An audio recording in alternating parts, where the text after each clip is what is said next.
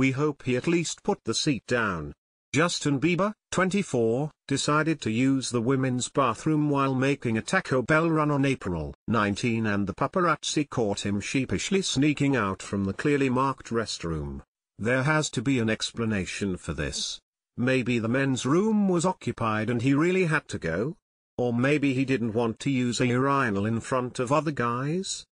We're sure most women would probably scream with joy to find themselves one-on-one -on -one with the Biebs in an enclosed space, but a lady's bathroom really isn't the right place. While he looked totally busted when he came out from the women's restroom, the rest of his Taco Bell time was a blast.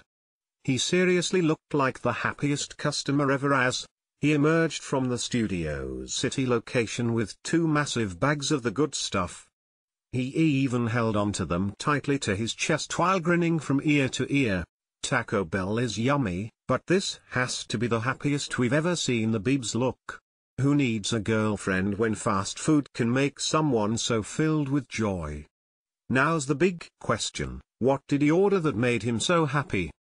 They do have new nacho fries that are super delicious. How about mayo cheesy gordita crunch or a chalupa supreme? Whatever he purchased he sure got plenty as his bags are filled with the good stuff. It's so nice to see that with all of his millions of dollars, something as simple as Taco Bell brings Justin so much unbridled pleasure. We hope he was hungry.